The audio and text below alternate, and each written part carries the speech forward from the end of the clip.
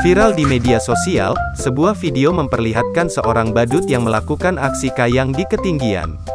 Saking tingginya, kepalanya bahkan hampir menyentuh kabel listrik.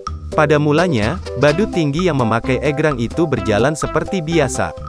Namun kemudian ia berhenti, sambil berjoget tiba-tiba ia melakukan kayang, seperti hendak terjatuh. Video yang diunggah akun Instagram @dagelan, Kamis, tanggal 24 Maret tahun 2022, itu pun hingga kini telah ditonton sebanyak lebih dari 2 juta kali. Warganet pun ramai berkomentar, tinggi banget kayak harapan orang tua, ujar salah satu warganet.